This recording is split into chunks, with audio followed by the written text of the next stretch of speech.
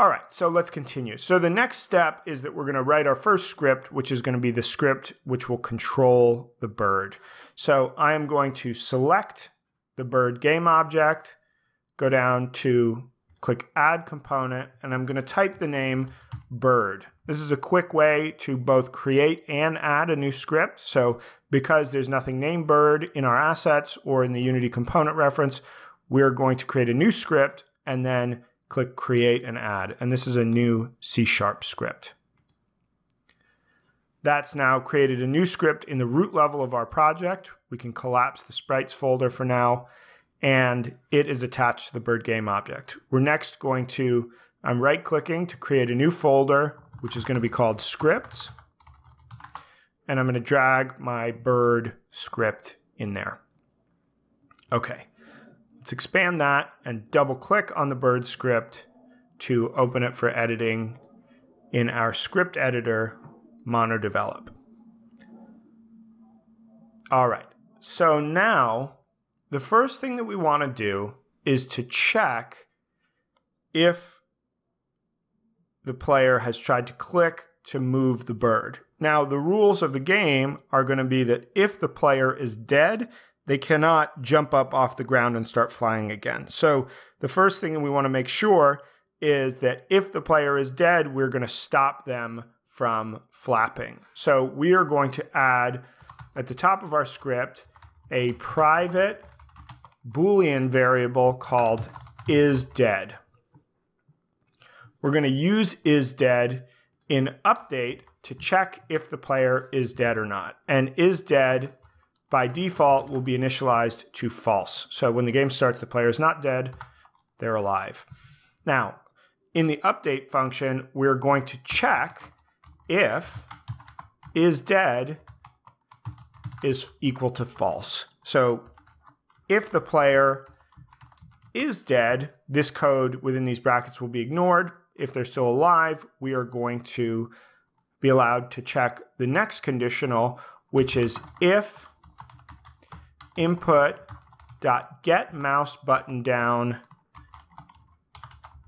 zero which is for the left mouse button. So if the player has left clicked, then we're going to do the code in this next nested set of brackets. Now, the code that we want to do is that we want to add some force to the rigid body 2D component that we attached to the player earlier.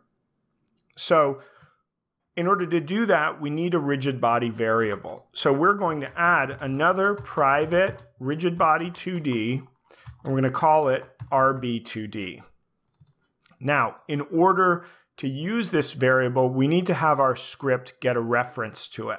So what we're going to do is in start, we're going to say RB2D equals get component rigid body 2D. What this is going to do is when the game starts or when this object becomes enabled, it's going to check on the game object that this script is attached to if there's a component of the type rigid body 2D attached. If there is, it will store it in the RB2D variable so that we can do physics stuff with it as we continue. So now we have our rigid body 2D variable.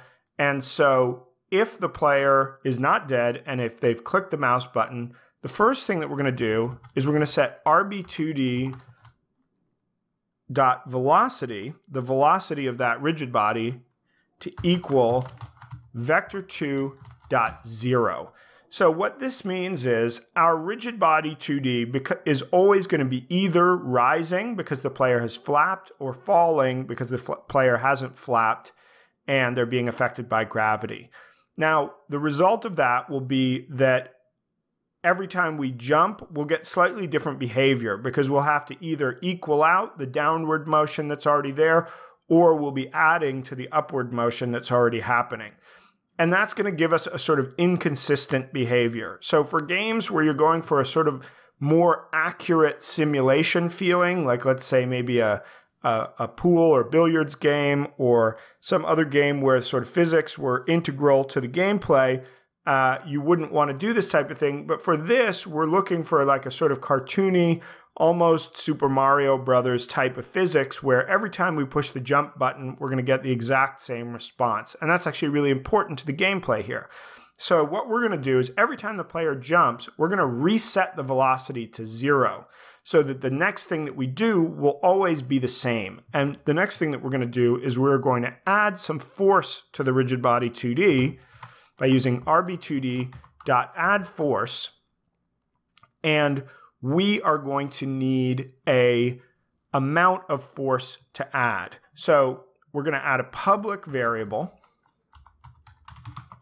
which is going to be of the type float, and that's going to be called up force. And we're going to initialize that to 200.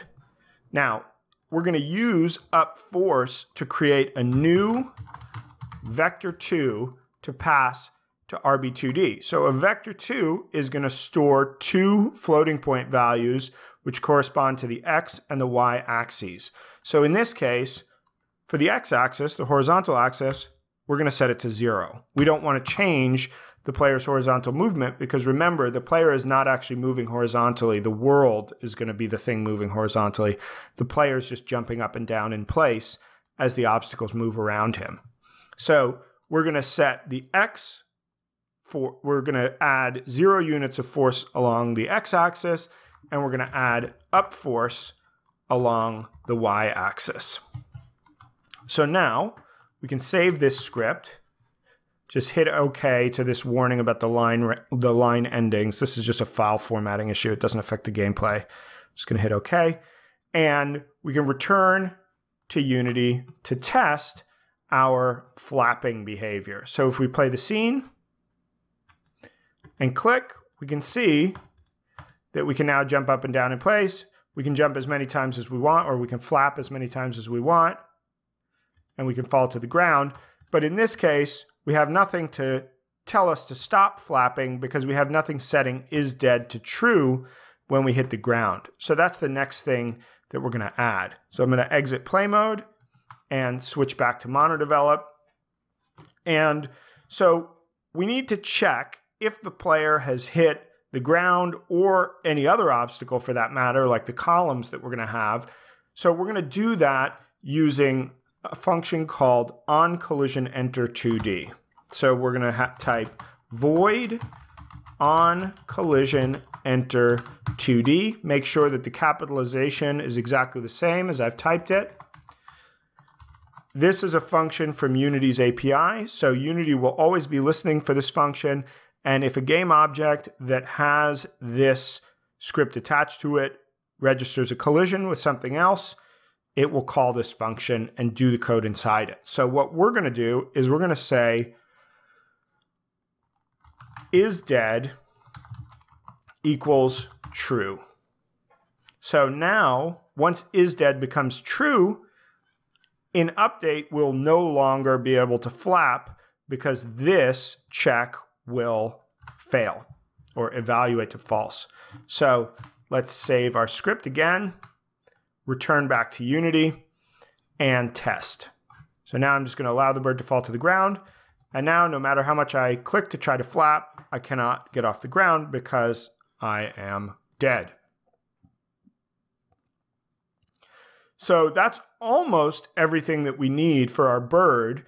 The only other thing that we're going to need are some functions or some lines of code which are going to allow us to play the animations. So switch to our wing flapping and our dead animation states along with an animation controller uh, to control the transitions between those states. And we're going to move to that in the next topic. First, I'm going to take a look at the chat and see how everybody's doing.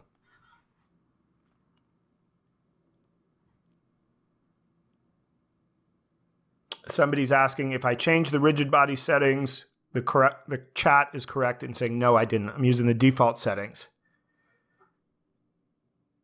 And yes, somebody else talking about the bird. The bird is not actually going to move. The bird is just going to move up and down, and the world is going to scroll to the right or to the left uh, while the bird stays in place. So it looks like the bird is moving, even though they're not. Uh, somebody asks, could you also write rb2d.velocity equals new vector200? You sure could, but there's no real reason to. Yes, vector2.0 is just a shortcut for 0, 0.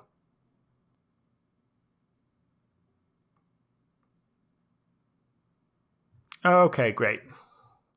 Somebody's asking, why not use a coroutine? The main reason for not using a coroutine is that it requires more management. The coroutine needs to be started and stopped, which requires extra lines of code that you may not need. And also, as somebody else says, the coroutines are prone to allocating memory, uh, which can lead to garbage collection, and therefore loss of performance at runtime. So, generally speaking, unless you really need a coroutine or unless it's just something to run once, like fading in the scene or doing something like that, I recommend avoiding them during your repetitive gameplay code.